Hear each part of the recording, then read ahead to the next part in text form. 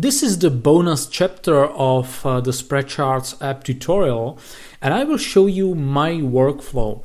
What combinations of data and charts I personally use to analyze the markets, the specific commodities uh, or commodity groups.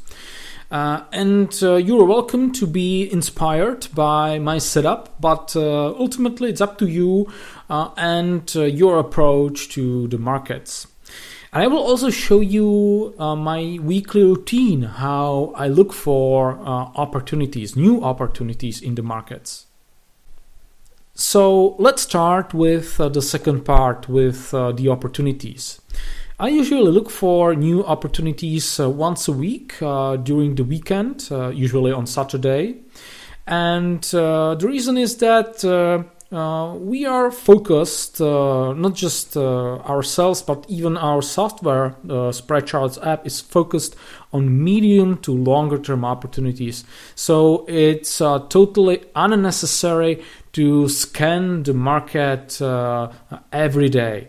Of course, if you are in a position on some commodity or are looking for an entrance into uh, the opportunity you already analyzed, then it makes uh, great sense to uh, watch that uh, particular market uh, every day.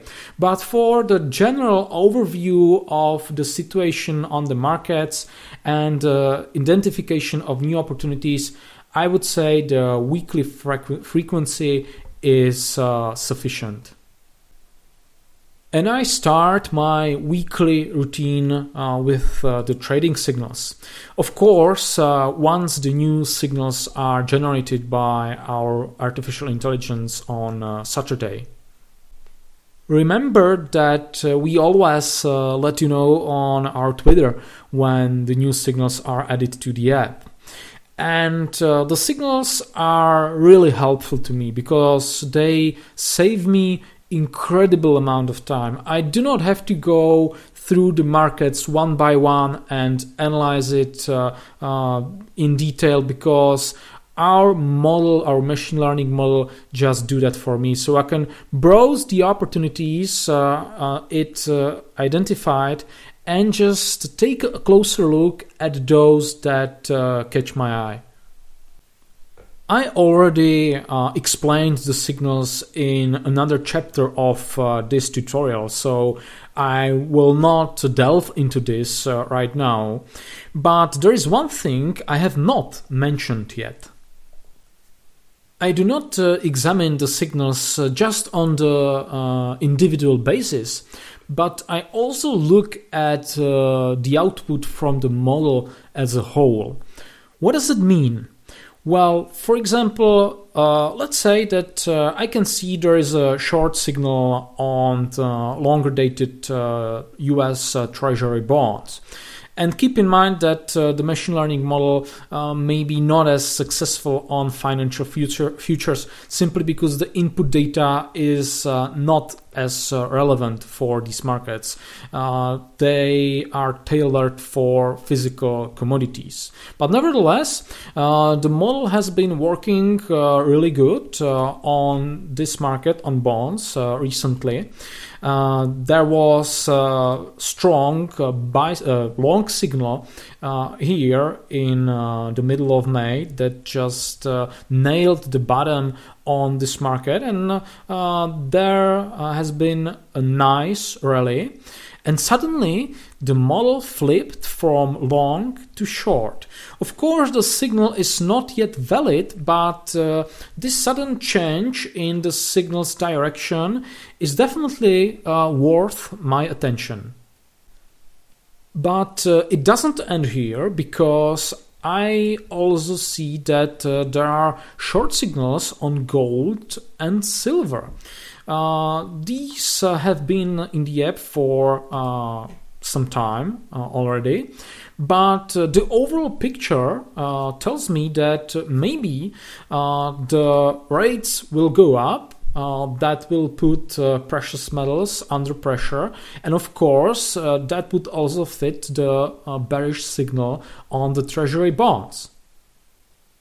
Moreover, uh, there is a short signal on Brent crude oil, which, uh, coupled uh, with uh, the short signals on precious metals, uh, tell me that maybe the dollar will go up and the commodities can get under pressure. Of course, keep in mind that uh, the performance of the model is also not as good on crude oil as on other commodities because this market is under heavy geopolitical influence. Uh, anytime someone from OPEC or you know Russia can release some statement that will move the market or decide to limit production or increase production. So that's the risk on crude oil. But uh, if I connect the dots and uh, take a look at uh, uh, the output from the model. this is the message I see right now.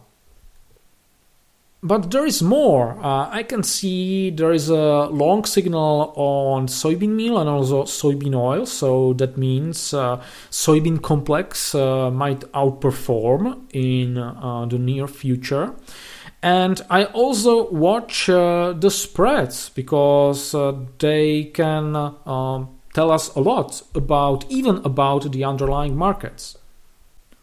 Although they look like a directionless strategy because you are always long and short on the same commodity they have a directional bias because uh, they can be either bull spreads or bear spreads. It depends uh, whether you uh, buy the uh, near contract and sell the more distant contract. That's a bull spread. Bull spreads usually rise together with uh, the underlying commodity. An example of a bull spread is uh, here, the bull spread on cattle or you can have better spreads uh, like uh, mm, the spread on uh, Brent crude oil, where you buy the more distant contract, which is always the contract with uh, the uh, plus sign or uh, at least without the negative sign, and short the near contract, which is always the contract with the minus sign and in this case it's uh, February. So this is a typical example of uh, a bear spread. And bear spreads usually go down when the underlying goes up. Uh, this relationship uh, does not hold 100% uh, of the time, but most of the time it just works that way. And that's exactly why these spreads, these signals on interdelivery spreads uh, can be helpful even if you do not trade them and uh, focus just on the underlying commodity because uh, they can tell you even something about the direction of uh, those commodity, commodities. For example, if there are uh, bull spreads on grains, uh, maybe there is a slightly bullish uh, bias on these grains, especially when there is a bullish or long signal on the underlying commodity. So if I see uh, a bull spread on a particular commodity together with uh, a, a, long signal that's uh, the best possible combination for bullish strategies. But this is just an example. Uh, keep in mind that the signals uh, work on a probabilistic basis. They show you just some increased likelihood of some something happening, definitely not guarantee. And that's how the markets themselves uh, work. Uh, you can never be sure about the direction of uh, any market. But still, the signals can be very helpful, and most uh, importantly, they will save you a lot of time. And uh, once I'm done with the first look at uh, the output from the model in general, I go through individual signals, and if something uh, catch my eye, I will just uh, expand the signal and take a closer look, and maybe open uh, the signal under charts, uh, analyze it, uh, take a look at other data, cross market analysis, and so on. So uh, that's how I start my week or my weekend with the signals. But I do not look just at the signals. Uh, I have many charts uh, prepared in my watch list, and I go through some of them every weekend. Of course, uh, I like some groups of uh, commodities uh, more than the others. Uh, that's, by the way, uh, the reason why I have many charts for the energy markets, but uh, not so many of them for soft commodities, for example. And I rely more on the signals for for the soft commodities. But I would say that's uh, understandable, and uh, every one of us is biased one way or the other. So, right now, I will show you my workflow. What combinations of data and charts I go through every week uh, for the major groups of commodities like the energy. So, let's start with uh, the energy markets and uh, the crude oil specifically. I can divide uh, my charts or the records in my watch list into the short term, medium term, or longer term analyses. Uh, you can see the spreads, uh, which are important part of my workflow. These are rather um, short-term charts. They are very important for short-term uh, predictions and uh, commitments of traders data that is uh, medium term indicator. So let's take a look at uh, those charts for now. I will not uh, show you the price charts because they are obvious. Uh, there would be no nothing surprising about them. So these are the spreads and I use uh, this setup. You have uh, probably noticed that these are the spreads on Brent crude oil. Uh, both are bull spreads.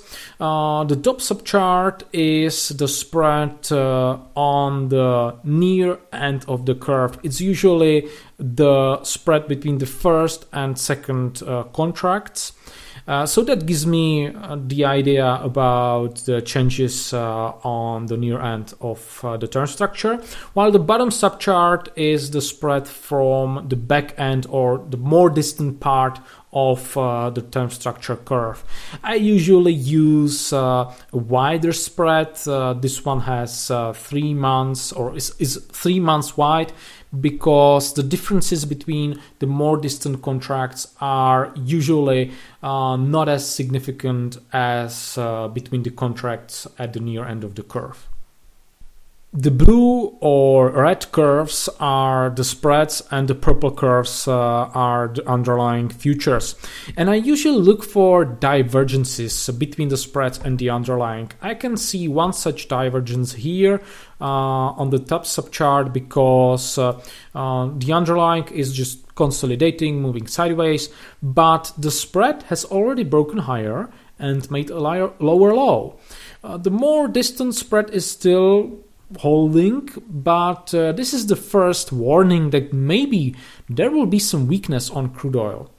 Uh, and I continue with uh, my analysis. Uh, I uh, switch to the spreads on WTI and I can clearly see that this market is weaker than the Brent.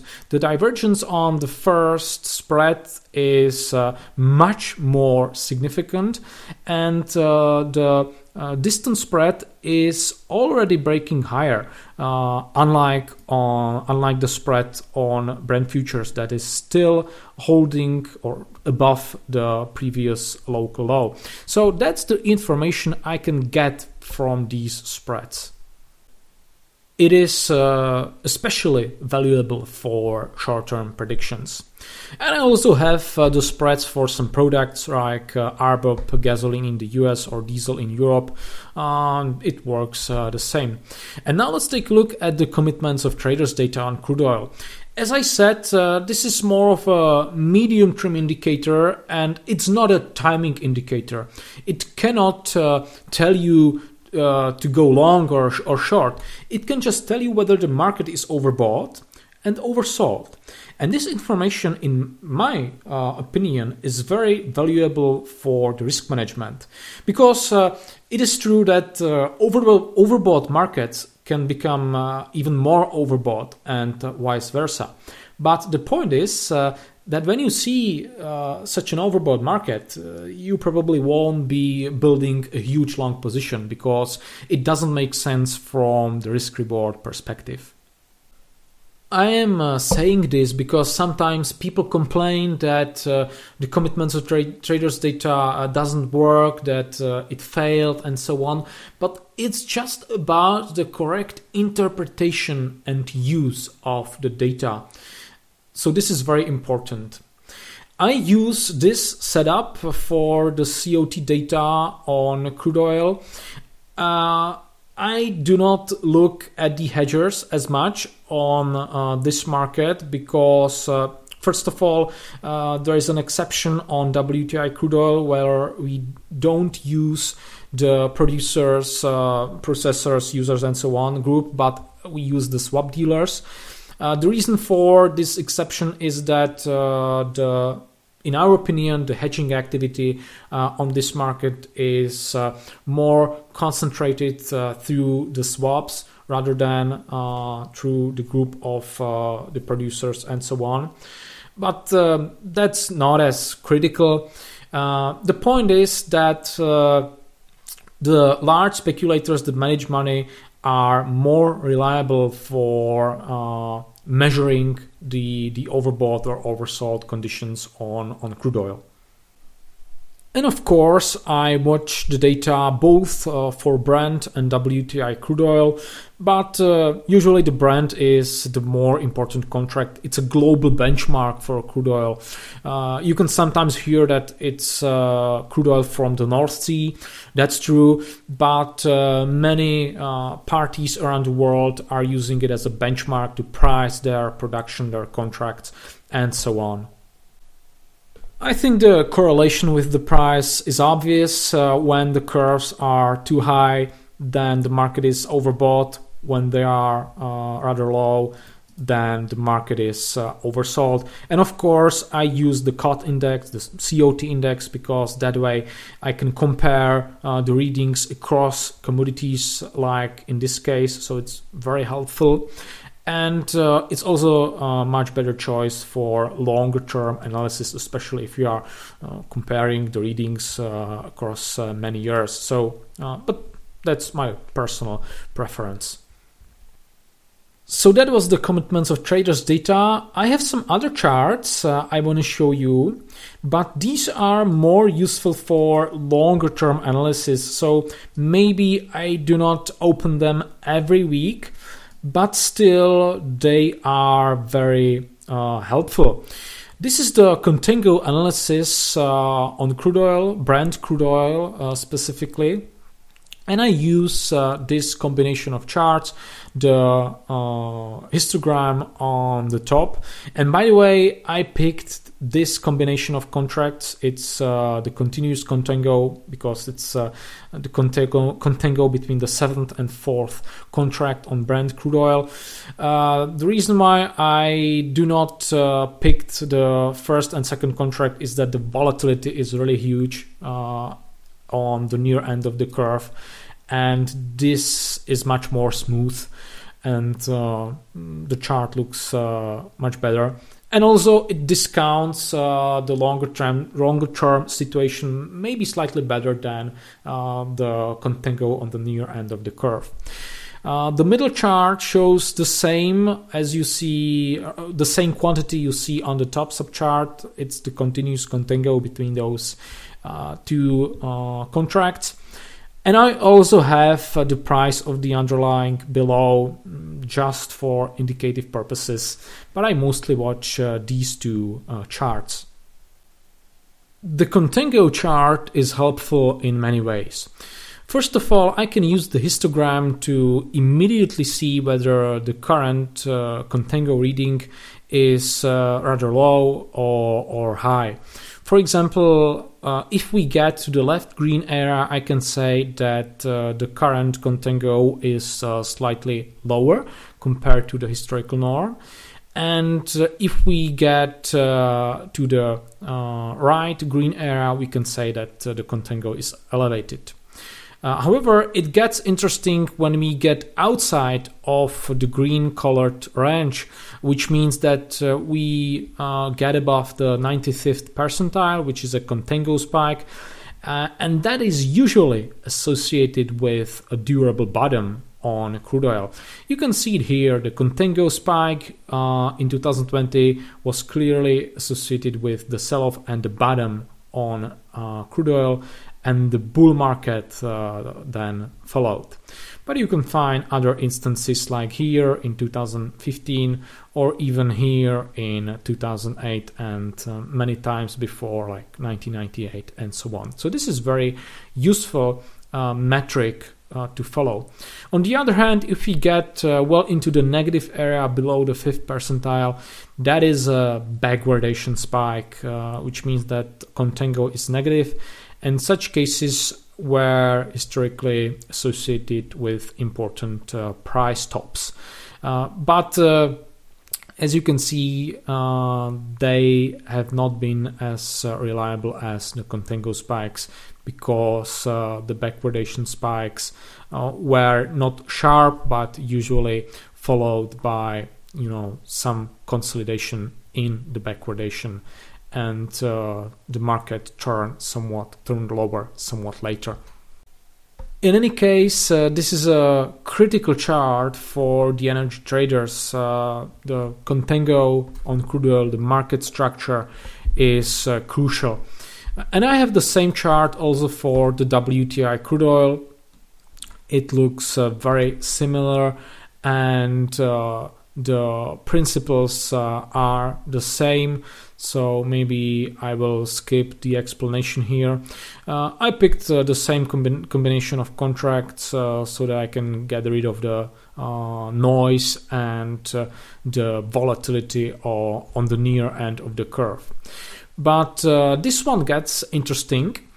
It's the crack spread in the US, which is important fundamental indicator. It's a measure of the refinery margins in the US. I have uh, three subcharts here. The top subchart is the histogram, once again. Uh, the middle subchart is uh, the crack spread itself, I mean the price of the crack spread itself. And below is the price of uh, WTI crude oil, the first continuous contract uh, connected by uh, or rolled by maximum open interest. So uh, when the spread gets too high, uh, that's a sign that uh, the margins are strong, which means that there is a strong demand for crude oil.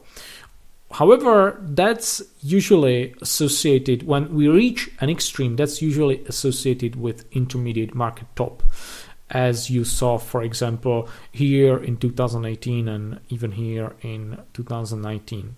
Uh, I can zoom out even further so you can take a look yourself. Uh, when the uh, margins are too low, on the other hand, that means uh, the situation is not sustainable and uh, some kind of uh, mean reversal will probably follow. So this is also uh, important piece of data. I often share this chart on our Twitter, and you can follow it yourself uh, in the app. So I think that's all for crude oil. I can go through some other charts, but uh, I don't want the video to be too long. So let's move to the natural gas. I will select uh, these few charts and uh, let's take a look at them maybe also this one. So the most important chart i usually follow on natgas is this one. It's the term structure chart it is uh, much more relevant to me than a simple price chart, simply because the term structure is uh, very rippled uh, on Natgas, which means there are huge differences between individual contracts. Uh, the winter contracts are much more expensive than uh, the off season expirations or even the summer uh, expirations. Therefore, watching the price of a single contract or a continuous contract would uh, provide only uh, incomplete information about the market. So, uh, term structure is a much better choice for analyzing the movements in the NatGas market. When uh, I open this chart every week, uh, I start with uh, comparing the situation exactly with uh, a week ago. It makes sense. Uh, therefore, I can see whether uh, the price moved up or down across the curve. So, not just the first contract, but the winter season, off season, or um, whatever part of the curve I wish to analyze. And I can also uh, compare the current uh, price, the current curve, with uh, the historical average or average curves, like the 5 year average, 15 year average, or the 30 year average. And I can also analyze uh, or compare uh, the shape or the slope of the curves, especially between the current curve and the 15 year or 5 year curves, because uh, it can also uh, provide me um, important information about uh, the spread behavior and uh, uh, potential uh, opportunities among the spreads. So, this chart is extremely valuable for NatGas traders. And I'll also follow the individual spreads, uh, like you can see on this chart that you are already familiar with. Uh, I pick the nearest uh, spread on the top and some more distant and also wider spread combination on the bottom subchart. Uh, it provides me a similar uh, information to the development of uh, the term structure curve but it is better for analyzing the development of the spreads over time because I can get this information also from uh, these three uh, options here, but still, uh, these are just uh, three curves, and I can follow the entire history using uh, the specific spread. So uh, I already described this chart on crude oil, so the use case is basically the same. The commitments of traders data is an uh, important part of my uh, analytical process, uh, even on NatGas. I tend to follow both the hedgers and the speculators here. Um, I usually uh, pick the COT position index, but I can uh, delve into other COT products if I'm doing a more detailed analysis. For, but for the quick uh, overview, this is quite sufficient. So commitments of traders data on NatGas is very useful and I recommend you to watch it carefully. I also tend to perform uh, seasonality analysis. Uh, this time is uh, critical to select a specific contract you are interested in analyzing or trading because there can be really uh, large differences uh, in seasonal behavior across uh, the curve on the NatGas, which is obvious when you when you see the curve. So right here I have uh, the seasonal analysis for the December contract, which is the first contract in the in the heating season. And I use the typical combination of uh, the seasonal curves and the statistics uh, on the bottom. I hide the five year statistics because it's uh, not enough data for uh, or to make a meaningful conclusion. But uh, otherwise, uh, the use case is the same as on crude oil or any other commodity. And I will jump to the last uh, tab because uh, it is uh, unique to the NatGas market. Here I do not uh, tend to follow just the random spreads as I do on other commodities, but uh, I'm also focused on this particular spread combination because this is the famous Widowmaker spread. It is called that way due to the fact that uh, these contracts are across uh, or this combination of contracts uh, is made from the March contract, which is uh, the last contract in the heating season, and the April contract, which is the first contract in the off season. And as I told you, uh, there are huge price differences between the off season and the heating season. And also, these uh, contracts uh, can behave wildly differently. And that means this spread can be extremely volatile, and that's the reason for the name because the volatility can virtually kill you. But uh, the reason I follow this spread is uh, purely analytical because it serves as a great benchmark for the expected uh, demand uh, in the next heating season. And so I watch the continuous price of uh, the spread, uh, whether it's strong or weak, and I also uh, take a look at the valuation. For example, here you can see that in the very short term or even the medium term, uh, the spread is uh, overvalued. So I wouldn't be surprised by uh, mean reversion, at least in the short term. That would also affect the underlying uh, nat gas market in a way that uh, even the nat gas market itself uh, can correct in the near term. And finally, I have the continuous uh, contango chart over here. Uh, once again, this is a long-term or chart for long-term analysis, so I do not open it every week.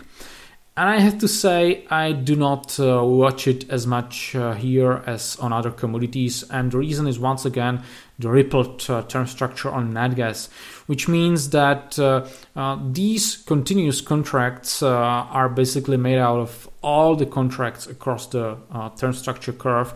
And this can be really distorting on nat gas because there are huge differences between the winter season, the off season, and so on and uh, aggregating this this data into continuous contracts uh, can really distort the reality and the resulting analysis. And that's the reason why I mostly uh, use this chart just to look for the contango or backwardation spikes uh, that can be useful for identification of uh, major turnarounds in the nat gas market. But now let's move to another group of uh, commodities, and uh, these will be grains.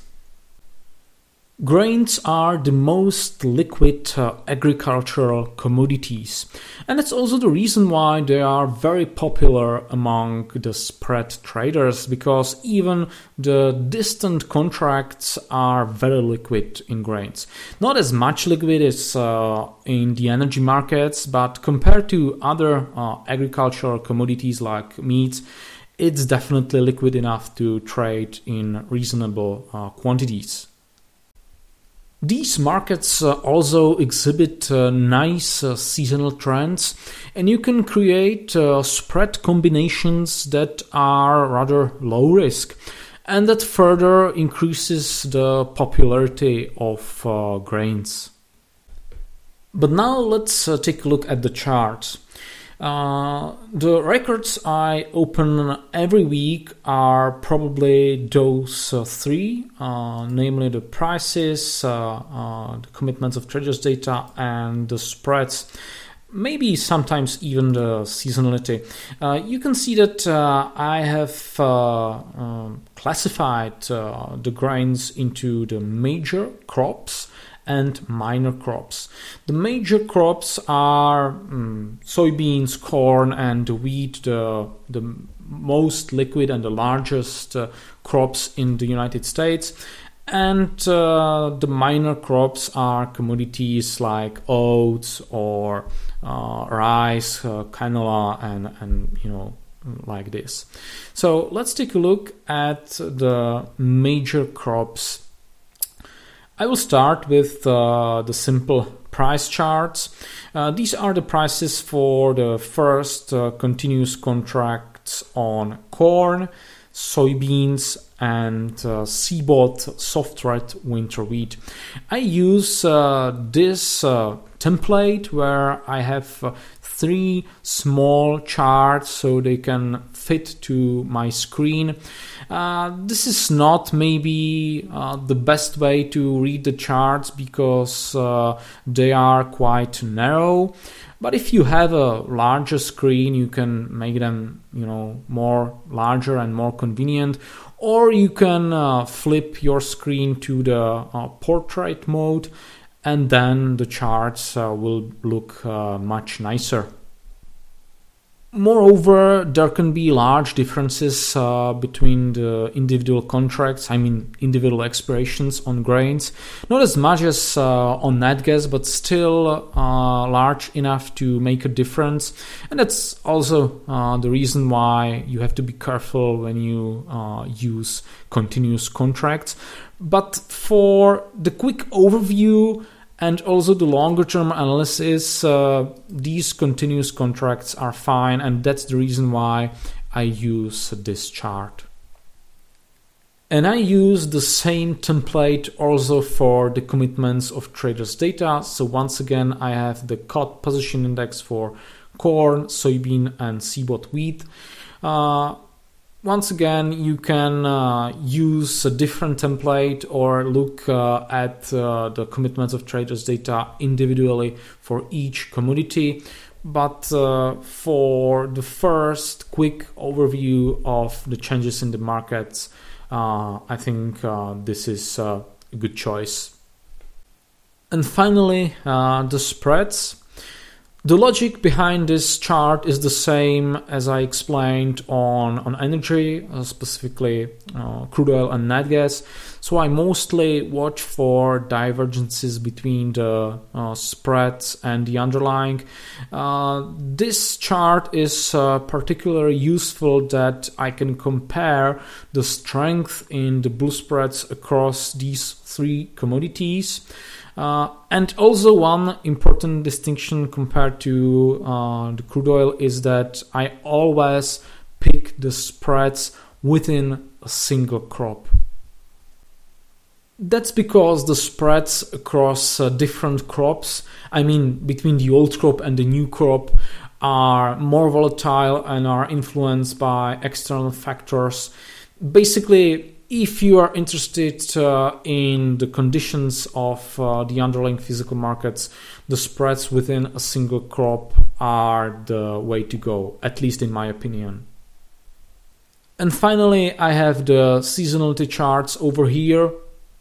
This time I made uh, the charts slightly larger because uh, otherwise uh, it would be really hard to uh, read the charts and I use simply the seasonal curves uh, because once again this is intended just to get a quick overview of the situation and maybe compare the seasonal trends uh, across uh, different uh, grains.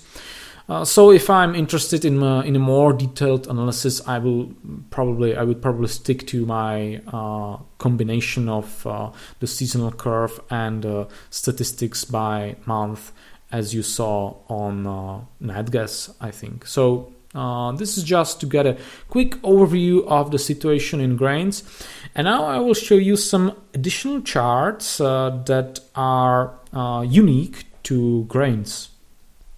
I have a few charts uh, somewhere in here that are incredibly useful and I would even say critical for intermarket spread traders. Uh, these are the people who trade spreads between uh, different commodities. Uh, these uh, spreads are more risky. You need a much larger account to trade these spreads. But uh, these opportunities or these intermarket strategies can be um, very successful and very profitable. And uh, these charts are simply the ratios between the uh, price uh, of corn and soybeans, in this case. In other words, between the price of uh, individual grains. And I think uh, their usefulness is pretty obvious because you can see the nice symmetry on the histogram and the mean reverting nature of uh, the ratio itself. That means there is probably some fundamental relationship between those two commodities. And that's true because corn and soybeans uh, often compete for the same acreage and uh, even on the consumer side of the market, uh, they can substitute each other. Uh, for example, in the feed industry for the animals, or as a source of uh, protein. And these charts, uh, especially the histogram, are really great for visualizing this uh, fundamental relationship. For example, now, now we can see that the ratio between these uh, two commodities is uh, fairly common because uh, the last value is uh, in the red area. But uh, if uh, the ratio gets, for example, too high to the right side of the green area, then corn would be quite overvalued compared to soybeans. And that would mean the consumers uh, would switch to soybeans, for example, in their feed process. And the farmers would grow more corn next year because uh, mm, it's more expensive and they would make uh, a greater profit on corn. And that in the end would result in the normalization of that ratio and return back to normal. And this kind of uh, behavior can be exploited by the intermarket spread traders because you can use a simple intermarket strategy when you short corn and, and, and buy soybeans to profit from the normalization of uh, that ratio. So I think the logic behind this chart and this analysis is pretty clear. Uh, I have the same data for other ratios. Uh, here I have the ratio between corn and uh, wheat. Once again, it works the same. And also the, the uh, ratio between soybeans and uh, CBOT wheat. So uh, these are critical charts for intermarket strategies and uh, personally i do not uh, watch them as closely. I often take a look at them once a month. But if you are an uh, intermarket spread trader you will probably follow them every week but let's take a look at uh, some additional charts. And of course i will stay in grains because uh, this group of commodities is really popular. Um, maybe also these uh, two charts or these type of charts uh, can be useful to you because you can simply compare the price of some particular contract with uh, uh some spread like this one because there is a fundamental uh, relationship between the spreads and the underlying and it can be really simple to visualize it on SpreadCharts. But now let's take a look at uh, something different.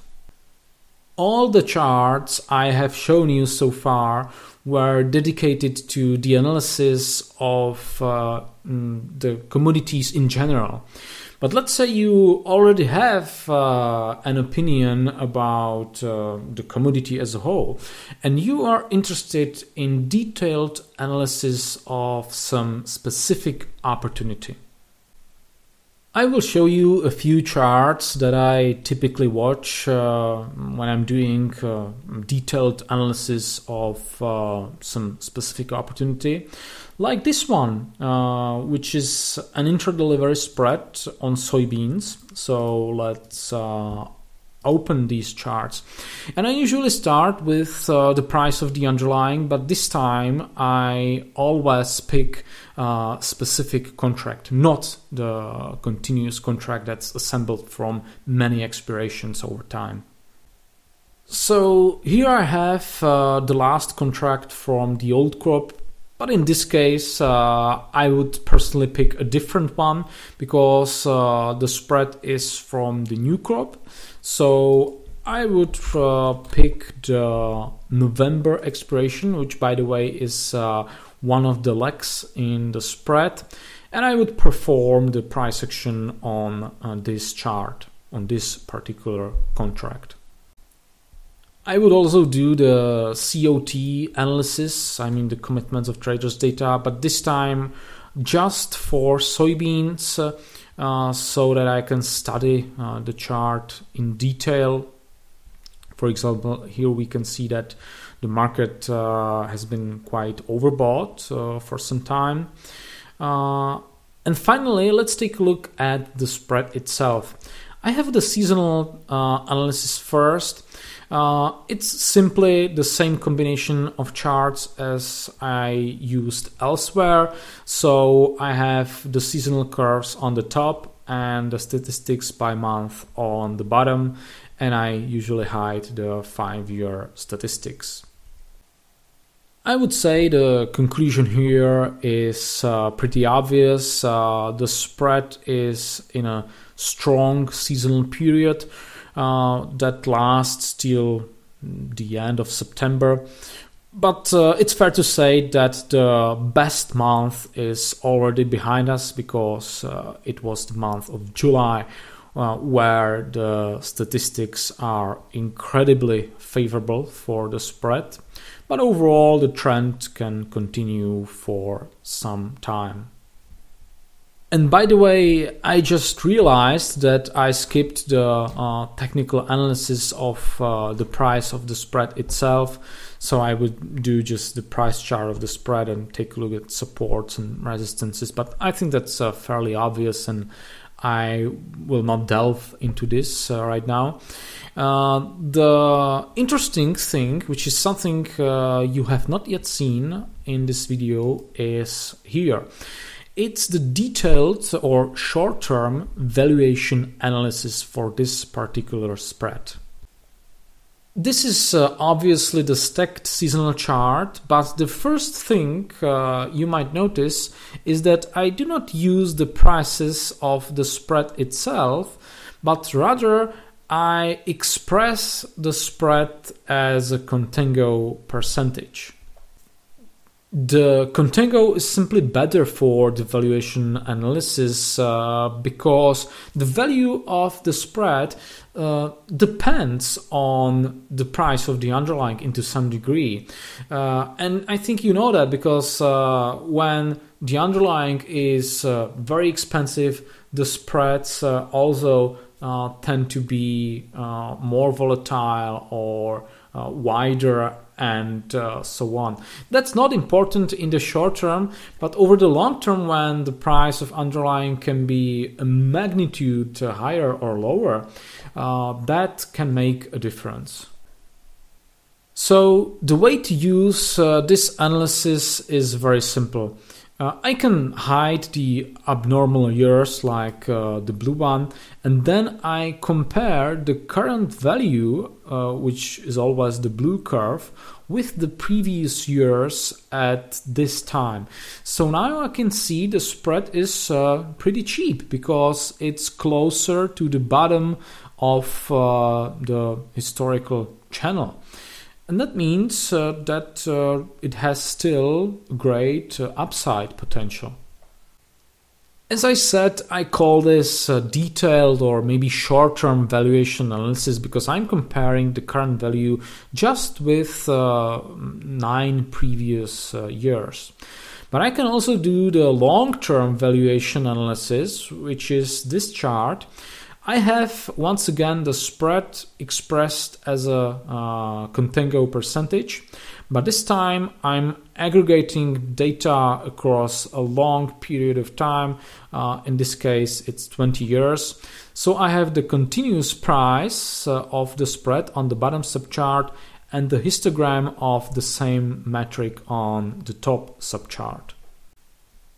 Unlike the detailed analysis, I have uh, much more data on this chart, and that's because uh, I'm not comparing the current value just with uh, 9 years, but with 20 years of data, and not just uh, in this part of the year, but uh, over the whole year. The disadvantage is that uh, it is uh, slightly less relevant because I'm comparing the current value not just with uh, these few selected values, but uh, uh, over the whole year. but this is just intended for the long term analysis and we can see that uh, the conclusion is uh, rather similar to the detailed analysis because we because you can see that the current value is uh, on the left uh, edge of uh, the right uh, of the red colored area which means that the spread is entering the left green area, which is the which is the area of slight undervaluation. So we can say that the spread is about to become slightly undervalued, and there is still probably a decent uh, profit potential. Once again, the histogram is very useful because uh, we can get this information in a second. So that was uh, the example how I personally analyze a specific opportunity. Uh, mm, you can check out uh, the charts or similar uh, types of charts also for other spreads or other opportunities, and you will find out that they are uh, universally uh, helpful. So that was all about uh, grains. Uh, let's take a look at uh, other uh, groups, and it will be um, rather quick because um, I often use the same charts as you can see here, for example, the meat prices, meat spreads, and commitments of traders' data. So uh, it would be pointless to go through the same charts again. But uh, maybe I can show you the hog crush spread.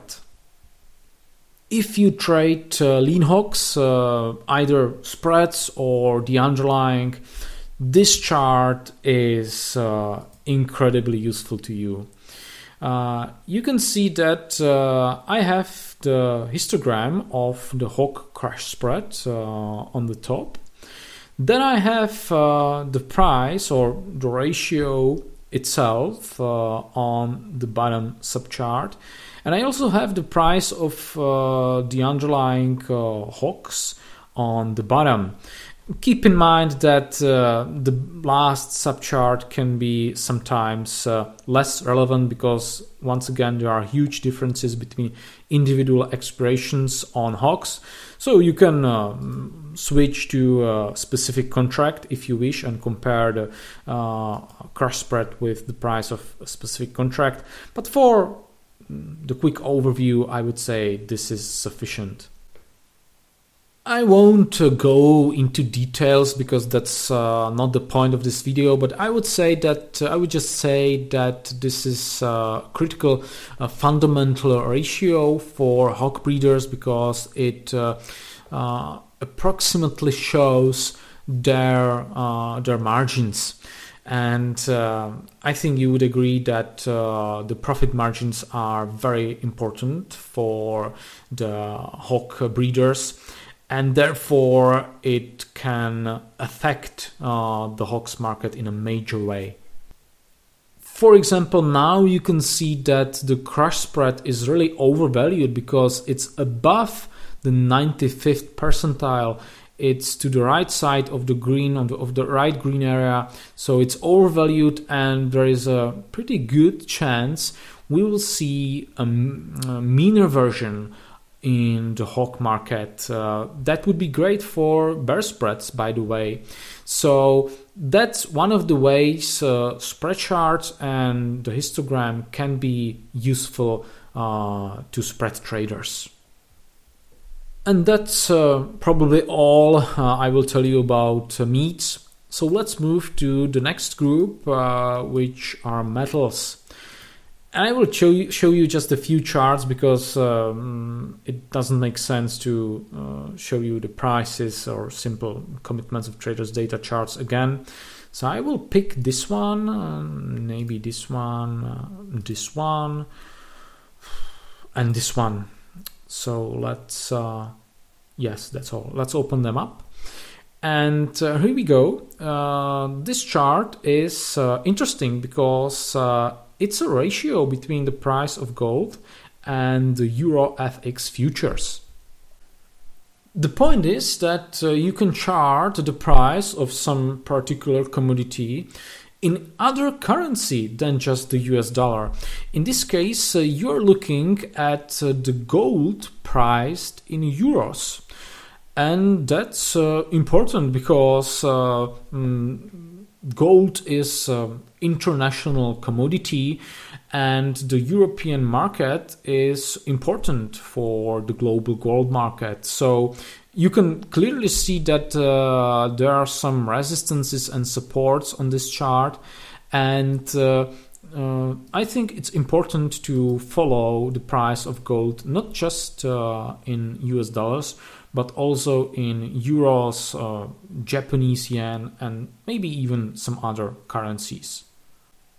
And as you can see, it is very simple to do this on SpreadCharts. The second chart is basically the distribution, the price distribution of gold in US dollars I think this is something I I already described uh, in other uh, chapter of uh, this tutorial, but uh, in this case I'm using uh, the short term periods like the two years or one year, and I look at the clusters of the columns because they can help me identify the areas of supports and resistances. For example, if the price uh, moves lower, there is a, a good chance uh, they it will react on the left tail of this distribution and maybe mean revert back into uh, the cluster. Or if it breaks down, it's very likely it will spend some time on the left uh, in the left uh, cluster of uh, columns. So this is a quick way to visualize important price levels and supports uh, or resistances. The last two charts are cross-market uh, analyses. The first one is simply the comparison of the price of gold uh, against the Swiss franc, because uh, these two markets have a lot in common. Both of them are safe havens that means uh, in times of uh, panic in the broad market, investors tend to uh, put their money into these safe havens like gold or Swiss franc. And you can clearly notice the correlation between these two charts. So I often uh, look for divergences or whether the price action on uh, Swiss franc confirms the price action on gold. And finally, the last chart is the fundamentally important silver gold ratio. Uh, I often watch this ratio to get a clue about the strength of the precious metals market in general. Because when the market is strong, the silver tends to outperform gold because it's a smaller market. And right now, for example, you can see that it's uh, quite weak because the silver gold ratio broke down from this uh, consolidation and looks to be um, still rather weak. And that means uh, the price of gold or the precious metals in general may uh, encounter some weakness in the short term. And I would say that's uh, all I will tell you about the precious metals. Of course, you can create some other uh, cross market ratios, like here you can see the palladium platinum ratio or silver palladium ratio, and uh, that can be useful uh, for intermarket strategies and so on. Uh, and now I will probably skip softs because all the charts would be quite similar to those I already shown you. And uh, maybe I will uh, give you a quick overview of the charts I use for the stock market or the volatility markets because uh, despite our focus is definitely on commodities, the SpreadCharts app can be very useful even for uh, investors in the equity markets or stock traders. So let's open a few charts. Uh, I don't know, maybe this one, this one.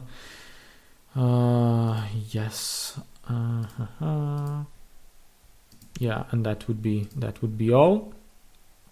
So first of all, you can simply visualize the price of uh, the S&P 500 futures using the continuous contract, and we have uh, the full history of data. So um, this can be helpful if you are analyzing the long-term price action because uh, other platforms may have uh, just limited amount of data. Or you can take a look at the seasonality analysis for these equity indices. Uh, this is very popular, at least from what I see on Twitter. But keep in mind the seasonal uh, data or the seasonal statistics are less reliable on equity indices compared to the physical commodities. Of course, uh, you have to use uh, the specific contract, but if you are interested in a longer term analysis, you can simply uh, switch to the next expiration. And uh, here we go. Or you can add the uh, seasonality statistics by month, which I would say mm, can be also useful here. So, this is how it looks like. I would say such a chart would be quite popular on Twitter. Let's move to the next chart, which shows the cross market ratios. Um, it is basically relative performance of technology stocks and small caps against the broad market. Once again, this is useful for investors uh, or strategies such as uh, tactical uh, asset allocation. So mm, you can create whatever ratios you wish, and uh, as you can see, they can be quite helpful. Uh, the next chart is also a kind of a ratio. It's the continuous contango in VIX futures. And this is really helpful because you can compare the contango across different parts of the uh, VIX uh, term structure curve and that's something uh, mm, that's uh, critical for volatility traders and can be also helpful for uh, investors uh, into stocks because uh, you can simply uh, distinguish between the complacency and panic in the markets. For example, right now you can see there is a lot of complacency because the contango is strong. the Contango on the near end of the curve is more volatile but still can be useful to spot extremes in the uh, volatility markets.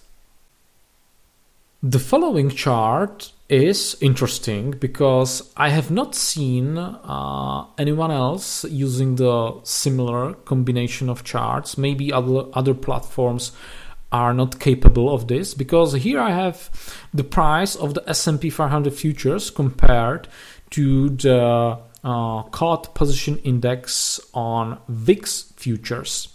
So we are basically comparing the positioning in the VIX futures market to the broad uh, equity index.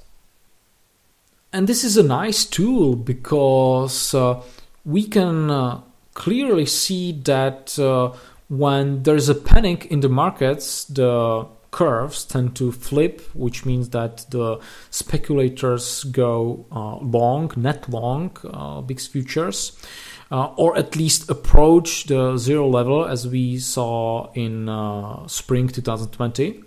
On the other hand, when uh, the positioning is really extreme, like we saw at the end of 2019, that means there's a lot of complacency, a lot of people are shorting uh, VIX futures or shorting volatility in general and uh, collecting pennies in front of a steamroller and that usually ends badly so uh, this chart is very interesting and i recommend you to watch it carefully if uh, you are investor or trader in the equity markets of course, uh, this is a medium term uh, indicator, so it's not as useful for you know timing uh, the movements of the market in the short term. However, the next chart is a very short-term indicator. It's basically uh, it's basically the comparison between the price of S&P 500 futures and the nearest VIX futures contract. Most of the time, there is a negative correlation between those two.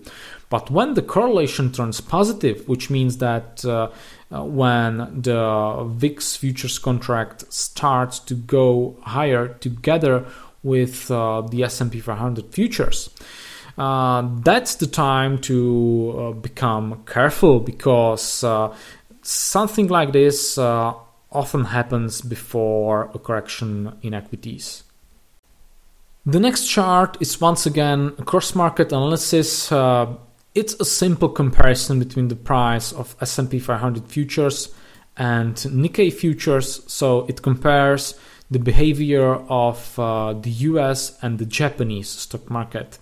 Over the last few years, uh, majority of uh, the large corrections emerged from Asia, and that's the reason why it uh, it is critical to pay attention to Japanese stocks. Right now, we can see the divergence between the Japanese market and the US market. So, this uh, chart tells us that maybe there will be a larger correction on US equities in the medium term. Once again, this is a medium term indicator. It takes some time for the divergence to develop, but ultimately, as we saw, for example, in spring 2020, uh, the US stock market eventually joined uh, the correction in Japanese equities because uh, uh the divergence is very clear. Uh, the Japanese stocks were uh, moving slightly lower, not making high highs and creating lower lows, while the US stock market was still surging higher. So um, that was a great example how this comparison can be useful to uh, to traders and investors.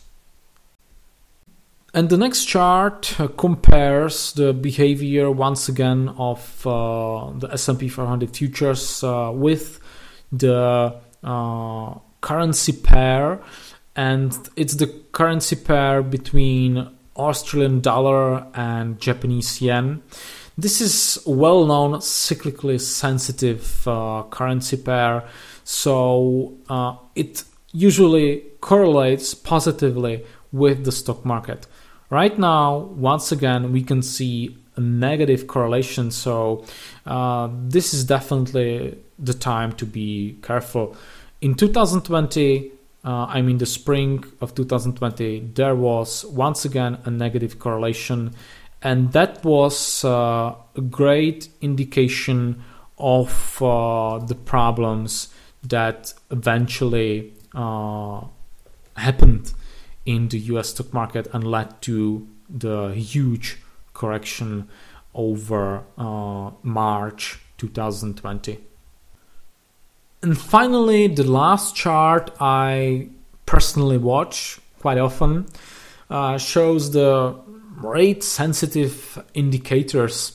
The first chart is uh, the once again cyclically sensitive uh, copper gold ratio and the bottom charts uh, are the rates themselves, uh, specifically the inverted 30 uh, year US treasuries.